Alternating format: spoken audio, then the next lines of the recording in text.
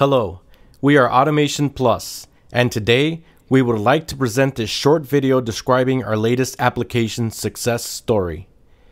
We were presented with an opportunity to integrate a fiber laser marking on a polypropylene pipe extrusion line by one of our partners, a company leader in the industry dedicated to manufacturing industrial printers such as lasers, inkjet printers, thermal contact printers, etc. The application was to mark on various diameters of pipe extrusion. The challenge was to provide an integrated system that would meet the following specifications. The first, safety. Our goal was to provide an integrated solution that would be safe for their operators, maintenance workers, visitors, and all personnel. We needed to ensure that the laser would only mark when the extrusion was present and that when the laser was marking that we provided a system that would contain the laser light within an enclosure that would contain any laser light emissions, thus rendering the system safe for operation. In order to accomplish this task, we created a shroud which on the end closest to the laser head fit over the fiber laser lens. At the other end of the shroud and near the pipe extrusion, we added brushes, which during normal operation made direct contact with the extrusion pipe, creating an effective light curtain that would not allow any laser light to escape. To ensure the brushes were always acting as an effective light barrier, we installed a sensor detecting the distance between the extrusion and the shield. A determined maximum and minimum distances are programmed in our system.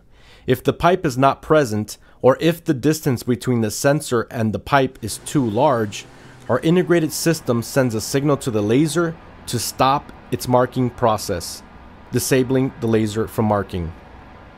We have also added an interlock door in the front of our enclosure, which operators can remove to clean the lens.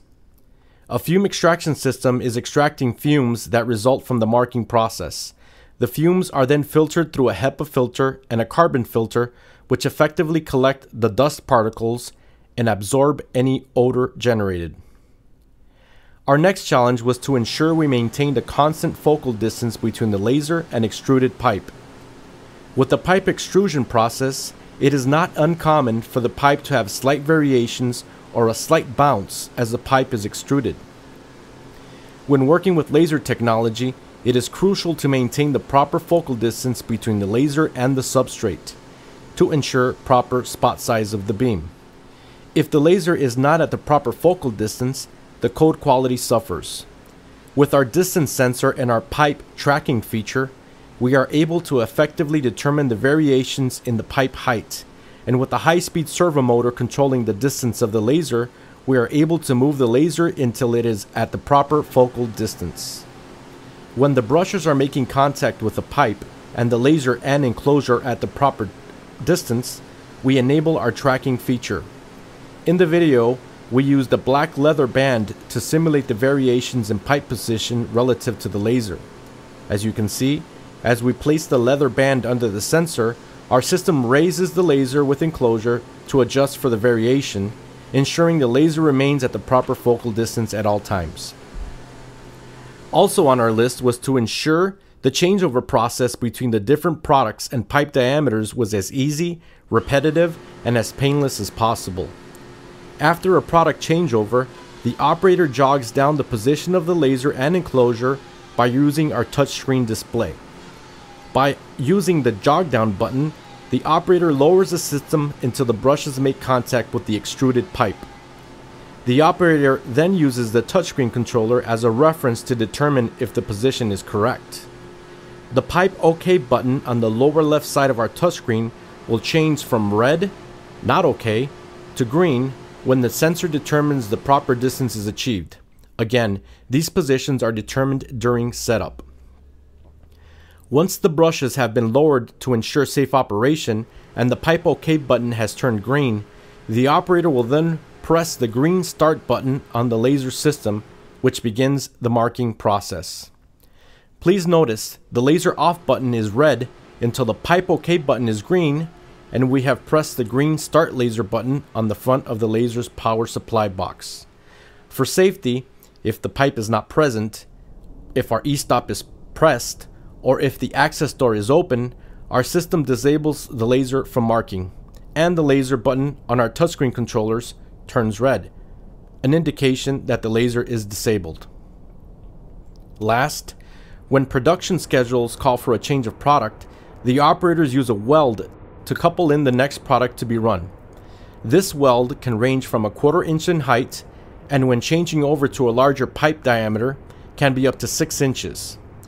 In the past, if the operators or maintenance personnel neglected or forgot to remove their past marking system, the weld would make contact or would crash into the printer, resulting in very costly repairs to the marking system and hours of unplanned downtime. Our challenge was to ensure that our system remained safe and intact in the event of a large weld were to present itself in front of our system. As you can see in the video, this was an actual product changeover where the weld was half an inch thick.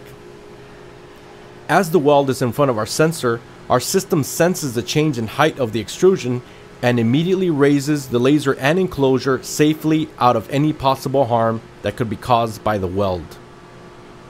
As you can see in our touchscreen display at the right top corner, the display shows a fault.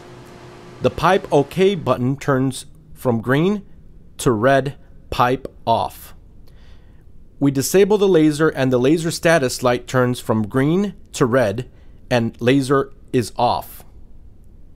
To resume the marking process, the operator clears the fault, enabling the servo drive, jogs the position of the laser and enclosure until the brushes make contact with the pipe. You will notice the pipe OK button turns green once the system is in the proper position. Now, in order to properly track the pipe, the operator must also press our track option button. At this point, the laser is still disabled. The operator must then press the green button on the laser power supply cabinet and the marking process resumes.